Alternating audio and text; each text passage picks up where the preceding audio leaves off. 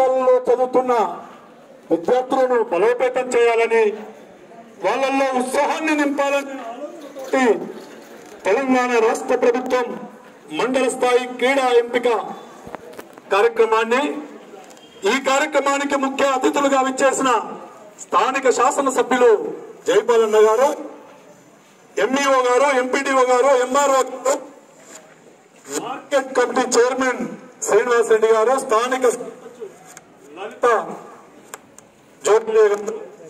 పెద్దలు కొమ్మలుగా ఉన్న తరుణంలో ప్రభుత్వ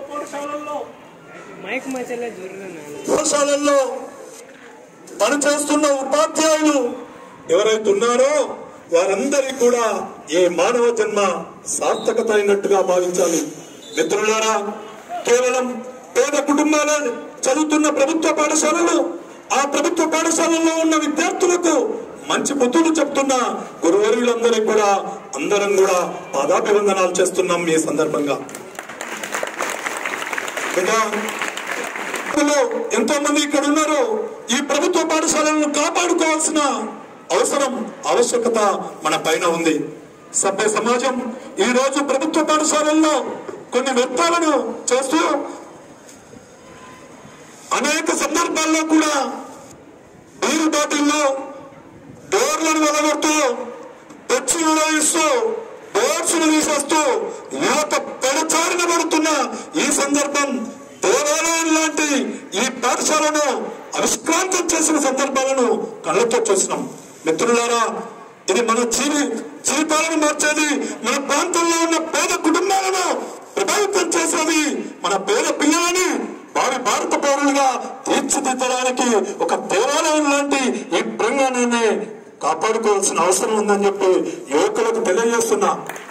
ఈ ప్రాంతంలో ఉన్న పాఠశాలల్లో ప్రభుత్వ పాఠశాలలను బలోపేతం చేయాల్సిన అవసరం ఉందన్నా. అన్నా మన ప్రాంతంలో ఉన్న యాభై నాలుగు పాఠశాలలను మెరుగుపరచాలి.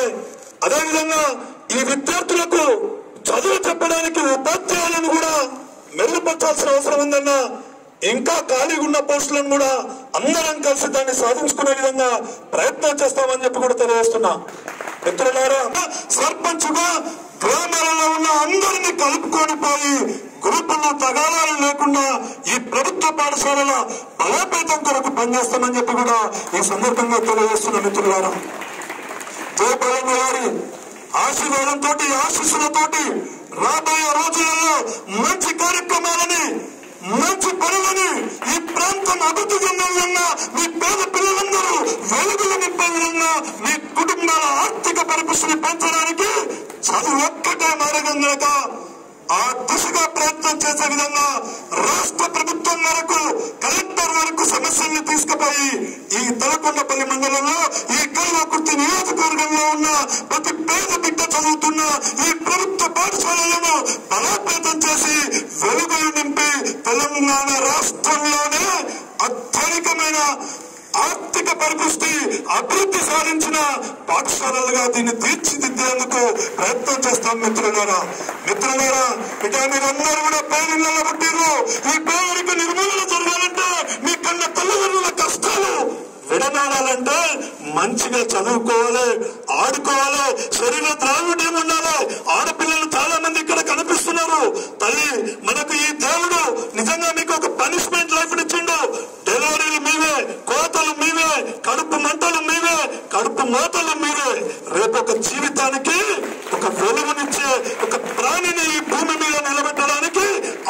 ఆడ పుట్టించారు అందుకని శారీరక దృఢత్వం చాలా అవసరం బిడ్డ. అందుకని మంచి ఆహారాన్ని తీసుకోవాలి మంచిగా ఆడుకోవాలి. ఆడుతూ పాడుతూ మీ జీవితాన్ని ప్రభావితం చేసుకునే విధంగా రేపు రాబోయే తరాలను నిలబెట్టే విధంగా మీరు మంచి ఆవశ్యకతను పొందాలని కోరుకుంటూ ఇక ముందు కూడా అందరికీ నేను తలకొండపల్లి మండలంలో ఉన్న అన్ని స్కూళ్ళల్లో కూడా స్పోర్ట్స్ డేస్ను గత మూడు నాలుగు నెలల కిందనే ఇచ్చినాం. అనే ప్రతి పాఠశాలలో ఇచ్చినాం స్పోర్ట్స్ డేస్ని ఈ మండలంలో. మరి ఇలాంటి కార్యక్రమాలు సర్దార్ గారు నిజంగా ఇక్కడ ఉన్న హెడ్ మాస్టర్ భవన్ కూడా చాలా పారదర్శకత ఉన్న టీచర్స్ మా ప్రాంతంలో మా పాఠశాలలో నడుపుతున్నారు. అనేక ప్రభుత్వ పాఠశాలలో ఉన్నత పాఠశాలలు. ఎనిమిదో? తలకడ వల్ల పన్నెండా? హై స్కూల్స్ పది పది హై స్కూల్స్ ఉన్నాయి ఎనిమిది పాఠశాలలు. కోరుతున్నా. ఎంఈఓ గారు ఒక్కసారి నాడు ఎంఈఓ గారిని కోరుతున్నా.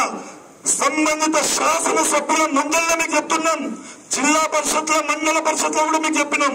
సార్ డిప్టేషన్ మీద మా ప్రాంతంలో ఉన్న పేద వాళ్ళకి అన్యాయం చేయకండి. మా ప్రాంతంలో ఉన్న పేద పిల్లలకు చదువు చెప్పే ఉపాధ్యాయులను హైదరాబాద్కు కర్నూలుకు కాటడానికి ఆర్డర్లు ఇస్తున్నారు.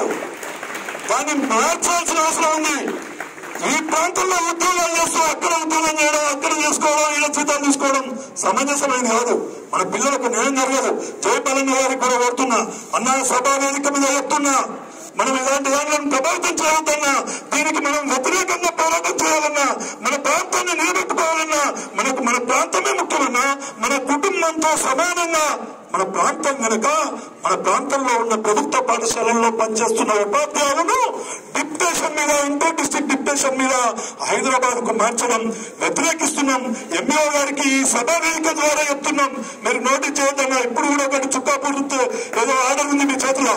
కానీ మార్చొద్దని చెప్పి కూడా తెలియజేస్తున్నాం. మిత్రులారా పోరాడిసిన ఘనత ఈ తెలంగాణ ప్రభుత్వానికి అంతే విధంగా ఈ సంవత్సరానికి గత ఏడు సంవత్సరాల నుంచి ప్రభుత్వం పైన ఒక అభిమానం ఉంది. ఉపాధ్యాయుల పోస్టులను భర్తీ చేయలేదు. పేద పిల్లలు చదువుతున్న ప్రభుత్వ పాఠశాలలను బలోపేతం చేయలేకపోయింది అనే దాని అభియోగం ఉంది. ఆ అభియోగాన్ని మార్చుకునేందుకు ఇప్పుడు డిఎస్సీ ఈ తెలంగాణ రాష్ట్ర ప్రభుత్వానికి ఈ తలకొండపల్లి మండల